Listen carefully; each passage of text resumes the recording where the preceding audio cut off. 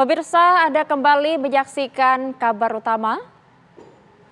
Sejumlah artis tanah air mengikuti kompetisi e-sport Mobile Legends bertajuk Pertarungan Legenda.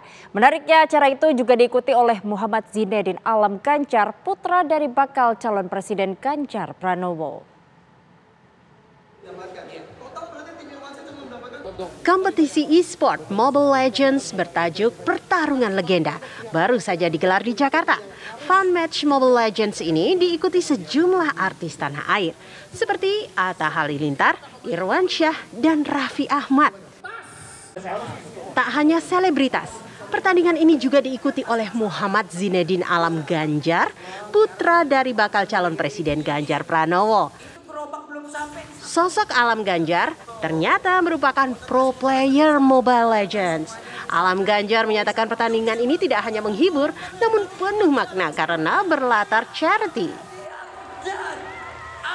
Yang aku suka dari pertarungan legenda ini tuh kita main, kita asik, tapi di belakangnya tuh ada nilai yang mau kita bawa karena itu kan ada charity.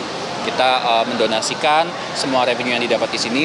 Kita juga selain cuma emang membantu teman-teman yang lain, kita juga mau gather orang lebih banyak. Kita mau merangkul orang lebih banyak. Harus peka gitu terhadap kemajuan uh, teknologi dan e-sport ini salah satu senjata kekuatan kita uh, karena selain sport, e-sport juga udah mendunia.